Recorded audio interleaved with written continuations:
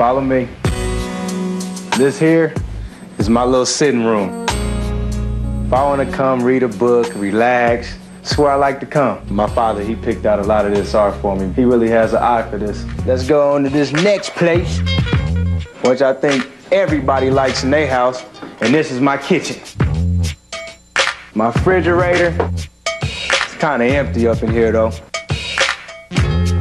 I'm not gonna lie, everybody. I don't even use this.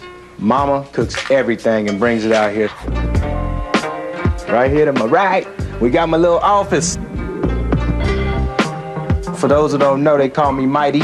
Got a lot of Mighty Mouse memorabilia. This is my bedroom right here. I got my bed right here. Man, it's comfortable, comfortable, comfortable.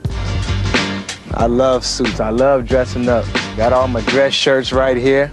Then I try to keep my shoes neat. And this is my little stool so I can stand on it because I'm a short guy, so I got to stand on the stool to get a lot of things.